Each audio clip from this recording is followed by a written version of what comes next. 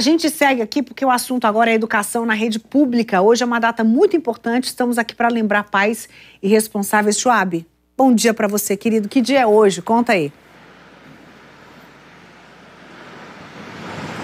Bom dia, Neila. Excelente quarta-feira para você, todo mundo que acompanhou o DF no ar. Hoje é o dia da efetivação da matrícula. Para ser mais exato, o último dia para efetivação da matrícula daqueles jovens que estão ingressando pela primeira vez no sistema público de educação. Então, durante todos os últimos dias, os pais e responsáveis tiveram a oportunidade de ir até a escola na qual o aluno foi contemplado durante o período da matrícula e agora fazer a efetivação, que é a entrega de todos os documentos, como CPF, RG, até a carteira nacional de habilitação dos pais e responsáveis, número do NIS.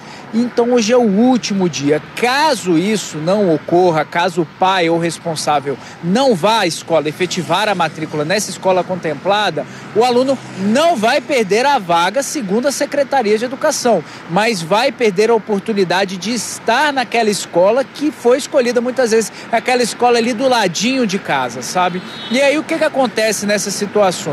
O aluno vai ter que cair para uma espécie de repescagem, as sobras, vagas remanescentes das matrículas, aí o aluno vai, durante o período de 17 até o próximo dia 21 de janeiro, verificar em qual escola tem uma vaga sobrando e aí sim fazer a efetivação da matrícula numa escola que às vezes pode não ser tão próxima assim, mas de acordo com a Secretaria de Educação, todos os mais de 25 mil novos alunos da rede pública têm a vaga garantida. Mas é importante respeitar o prazo que vai até hoje para ficar naquela escola que foi contemplada. Se você quiser dar uma olhadinha também nos documentos que são, que são necessários apresentar, sendo eles originais e cópias, basta entrar no site da Secretaria de Educação tá toda a relação lá bonitinho para o pai não ficar perdido, não aparecer lá com o documento faltando e acabar perdendo a vaga nessa escola pertinho de casa, Neila. Tá certo, Chave, não dá para correr esse risco, viu? Estudar perto de casa faz diferença na rotina da família inteira